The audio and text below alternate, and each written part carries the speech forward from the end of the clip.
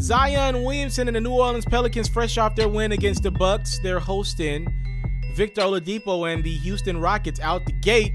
Zion showing us what he could do with the ball in the air. He goes and gets it for the old alley oop jam. Pelicans up 10, but not for long. As the Rockets make a run, it's John Wall. He's open. Why not? He drills the three pointer. We're tied at 42. More Rockets basketball. It's Oladipo to Christian Wood who was just scorching hot from the field 11 of 13, 27 points, 9 boards. Now, right before the half, it's Oladipo playing beat the buzzer with that three pointer. He had 20 points and 7 assists. The Rockets up 18, second half. Pelicans try to make a game out of this when it's Lonzo Ball to Zion, who had 26 points and 7 boards. It's a 10 point game, but not enough stops down the stretch for the Pelicans. Eric Gordon had just 14 in this one, but that's a pivotal three the Rockets hold on to win this one 126 to 112.